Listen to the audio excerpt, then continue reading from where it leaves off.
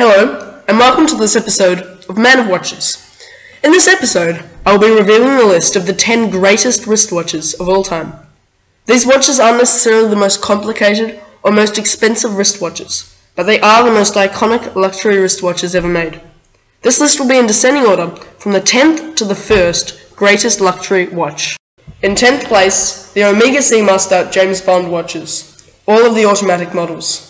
The automatic Omega Seamaster Bond watch has been a favourite of collectors for many years, and as a result, the prices are starting to rise. A good condition Bond watch can be purchased for as little as $1,700 and has great investment potential. I myself have a reference 2531.80, which I purchased for just $1,800 on the second-hand market. The watch is iconic amongst watch collectors and is easily recognizable with its beautiful blue face. The new Bond watches feature Omega's in-house coaxial movement, and due to them being so new, they sell for significantly more than the older Bond automatic watches. They do not have blue face and have a different face, as you saw in the first image. In ninth place is the Breitling Navitimer. In the last 20 years, the large watch has become more and more popular, and luxury watches have continuously been growing in size. The Navitimer fits into the top 10 watches of all time because it, is, it was always large, before large was the rage in the watch world, and it was one of the watches that probably inspired the large watch phenomenon that exists today. At the time, it was a revolutionary watch because of its size and today it is looked back on with great respect by watch collectors all over the world. The watch comes with either a quartz or an automatic movement, but obviously the automatic models are the only option for any serious watch collector. The watch is a chronograph watch and is probably Breitling's most famous watch amongst the luxury watch world. An automatic Navitimer can be found on the second-hand market for as little as $3,000. In eighth place the Rolex Daytona. The Daytona is one of Rolex's most luxurious and expensive watches, along with watches such as the Sky Dweller and the President. The Daytona is the only current model Rolex to feature a chronograph movement. It can be found in white gold, yellow gold, rose gold, platinum, two-tone, or just plain steel. For many, the Daytona is a sign of making it in life. It is quite pricey, often uses precious metals, and it is a piece sought after by many collectors as their holy grail piece. A two-tone or steel Daytona can be found on the second-hand market for just under $6,000. Moving along now to seventh place, which is the Jaeger LeCoultre Reverso. The Reverso has been one of the world's most popular watches since it was released in 1931. It was introduced for English officers who were working in India. These officers were breaking their watches when they were playing polo. The Reverso was named this way because the watch has a swivel movement where the case is flipped to reveal the case back. This is so that if a polo player fell off their horse, that it would, the watch would be hit on the case back, and so the watch wouldn't be too da damaged. The Reverso is made primarily in steel, however there are gold versions of the watch. A steel men's manual winding reverso can be found on the second-hand market starting at $2,700. In sixth place, it has to be the Audemars Piguet Royal Oak. Also included in this place can be the Royal Oak Offshore. The Royal Oak is a revolutionary watch because it was the first watch to treat steel as a precious metal, which was in line with the brand's trademark logo of, to break the rules, you must first master them. The Royal Oak is Audemars Piguet's trademark watch, and when any serious watch connoisseur thinks of AP, the first thing that comes to their head is the Royal Oak. After the Royal Oak success, Audemars Piguet released the offshore Royal Oak models, which tend to be larger, sportier watches that often contain a chronograph.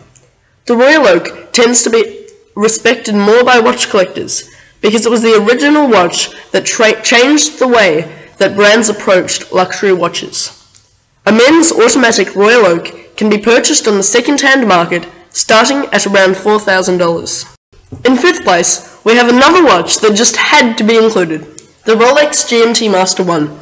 The GMT Master was a favourite of collectors when it was released in 1954 for pilots and navigators. To this day, collectors still love the GMT Master, particularly the black and red Coke bezel and the blue and red Pepsi bezel, and so these watches still command high prices.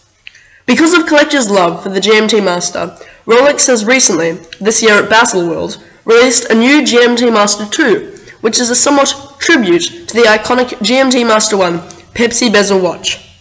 The new watch also has a Pepsi bezel, however this time it was made of a ceramic, scratch-proof material. The original GMT Masters were made in steel and the occasional gold watch, and featured an automatic in-house movement produced by Rolex along with a GMT function. A good Rolex GMT Master 1 can be purchased on the secondary market for around $4,500. In fourth place is the Rolex Datejust. The Datejust is arguably one of the best watches in the world simply because it is perfect for all occasions. It can be dressed down as a sports watch, worn in the water as a summer watch, or dressed up for a black tie event. The Datejust is probably the greatest all-rounder ever produced. The watch features a date function, which is displayed under Rolex's trademark Cyclops date magnifier. The watch features an automatic in-house movement from Rolex. The Datejust is undeniably one of the greatest watches ever made, and it has been since it was introduced by Rolex in 1945. Despite the greatness of the Datejust, it has been overshadowed by Rolex's sports watches, and so the Datejust can be found at quite affordable prices on the second-hand market. A good Rolex Datejust can be found for around $2,400 on the secondary market today. In third place, we have the Omega Speedmaster Man on the Moon. This can be, only be the original watch, which featured a plastic crystal and a manual winding movement. The watch makes the list because it is so iconic due to it being chosen by NASA for the first astronauts to wear the watch on the first ever trip to the moon. Omega have made many tributes to the iconic Moonwatch, which feature things such as the sapphire crystal case and caseback, and Omega's in-house coaxial automatic movement. None of these watches, however, do the original any justice. The original Omega Speedmaster Man on the Moon is the way to go, and is a very underpriced sports watch. A good Man on the Moon Speedmaster can be purchased on the secondary market for roughly $3,500. In second place, it could only be one watch, the Rolex Submariner. The Submariner is, without a doubt, the most iconic sports watch ever made, and when anybody thinks of a Rolex, or even just a sports watch, the Submariner immediately comes to mind. Since it was released to the public as a diver's watch in 1954, the Rolex Submariner has been a complete and utter success. The Submariner contains Rolex's in-house automatic movement and is waterproof to depths of 300 meters or 1,000 feet. Either the no-date sub or the dates function Rolex Submariner are both acceptable as the second best watch in the world. The watch was released as a steel watch, however over time solid gold versions of the watch and two-tone versions have been released.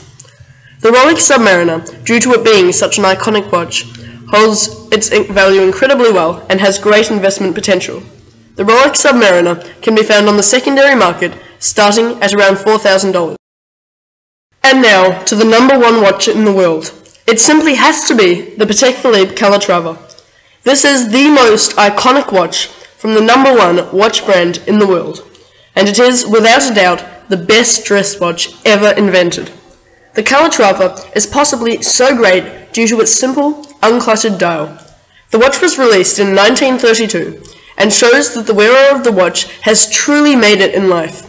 95% of the world have no idea what a Patek Philippe is, and that is just part of its beauty. It is simple, discreet, and beautiful. As Archie Luxury once said, it is the watch you have not got, you have not to big note yourself.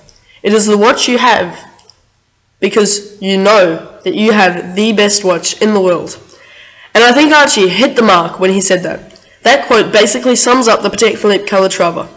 The Calatrava comes in the precious metals white gold, yellow gold, and platinum. Due to Due to it being the best watch in the world, the Calatrava is quite a pricey watch and starts around $8,000 and only goes up in price from there. So it also comes in rose gold. Thank you for watching this episode of Man of Watches. Please give me a like if you enjoyed the video and subscribe for more content on watches. Email me with any questions, comments or queries about this video or just watches in general at manofwatches at gmail.com. Thank you.